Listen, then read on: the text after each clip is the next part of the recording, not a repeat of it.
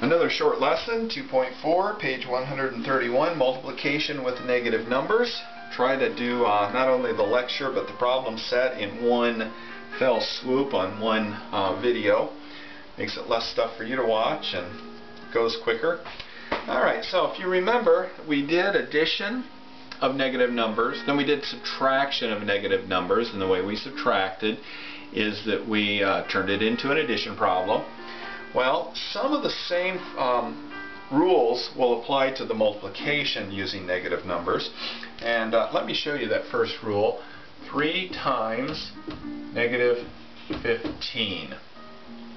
Um, the rule being, you count the number of negatives. Remember when we were, when I had 3 minus negative 2, and I would look at these, this is completely different than this, and I would have these, and because they were an even number, this turned into a positive.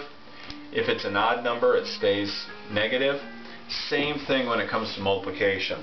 I have one negative sign, so it's an odd number. So my answer will be negative. Then I just multiply my two numbers together. If I had an even number of negatives, I have two. My answer is still going to be 3 times 15, but my answer will always be positive when I have two negatives, or four negatives, or six negatives. You can just count the number of negatives that you're multiplying and know automatically whether your answer is going to be negative or positive. Negative 3 times negative 2 times negative, um, 6 times negative 5. I can just look, 1, 2, 3, 4. Four negatives, even number, my answer will be positive. So I don't even have to think about that part of it. Now I can just multiply. 3 times 2 is 6, times 6 is 36, times 5 is some big number. So it's going to be positive though because I've got 4 even, or 4 negative numbers there, an even number. So, um, as far as those rules are concerned, that's pretty much it as far as that lesson.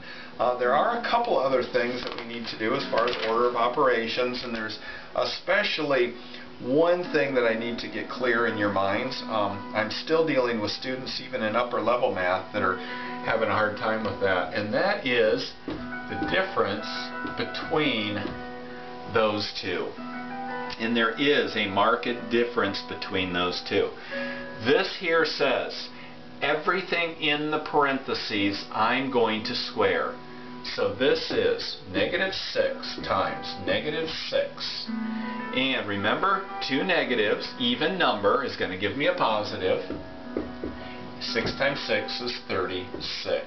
Alright, so this says everything in the parentheses is going to be squared, including the negative. This is different. This 2 does not affect this minus sign. This 2 only is affecting the 6, not in parentheses. So it only affects the first symbol to its left. So this means 6 times 6, which is 36. Then this negative gets tacked on the end of it. See the difference. This one has an answer of positive 36. This one has an answer of negative 36. Again, it's the punctuation. If I want to square the negative 6, I write it this way to show that's what I'm doing. If I don't want to square the 30 or the 6, I just want to square the 6 and not the negative, then I write it like this. Again, there's no rhyme or reason to it except it's the punctuation to show what you're trying to get folks to do. So, very, very important for that to be pounded into your brain so that you can remember what to do with it. Um, let's well, let's just try another one here.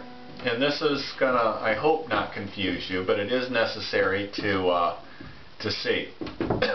This says I'm going to take negative four, negative four, negative four. Okay, three negatives equal a negative because they're odd. 4 times 4 is 16 times 4 is 64. Okay?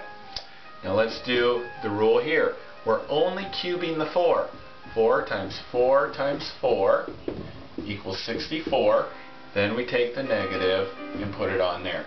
Notice, answers are the same. That's okay. When you have an odd exponent, this and this are going to give you the same answer. It's the even number, like the last one I did when they were squares, that made the answer different.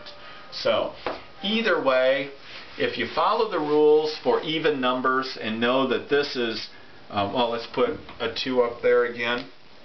This is negative 4 times negative 4, which is positive 16, and this is 4 times 4 is 16, tag the negative on it.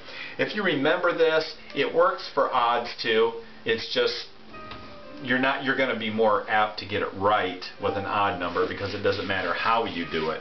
But just do it the same way for all of them and you'll be you'll be safe. All right, order of operations. Let's throw some stuff up here.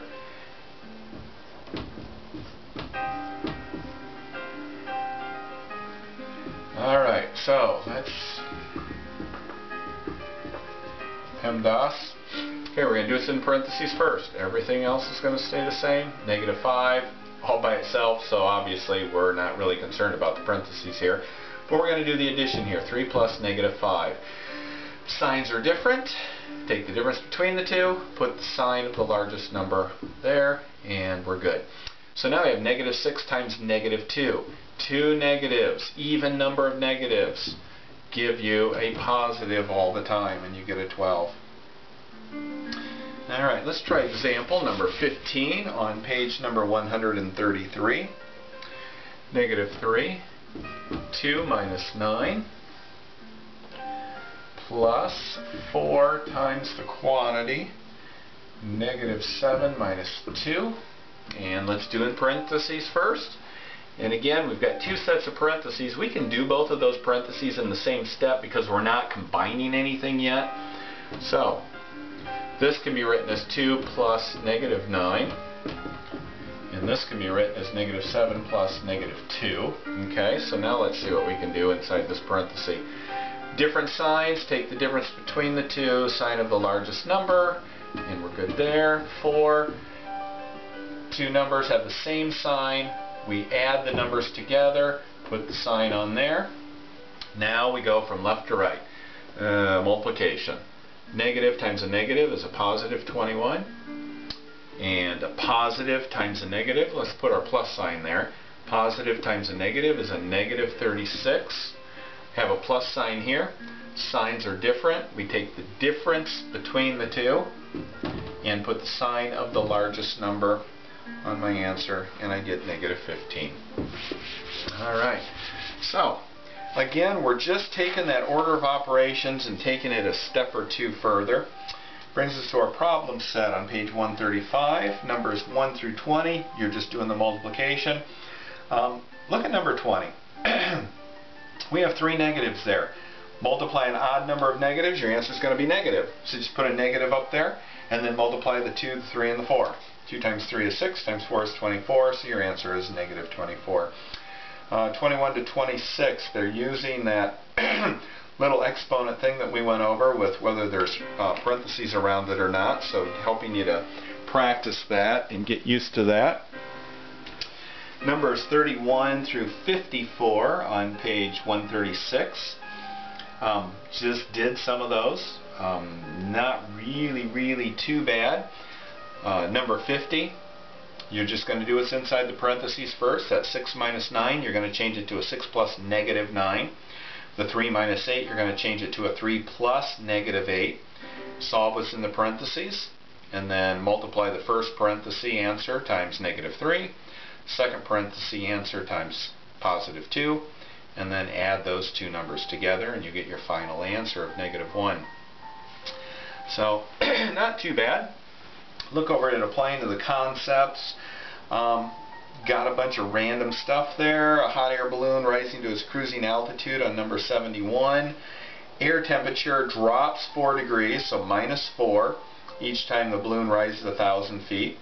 What is its net change in air temperature around the balloon as it rises from 2,000 to 6,000? So if it goes from 2,000 to 3,000, it lost 4 degrees. 3,000 to 4, another 4. 4,000 to 5, another 4. 5,000 to 6, another 4. So add all those up and you get your negative 16. All right. That's it for problem set 2.4.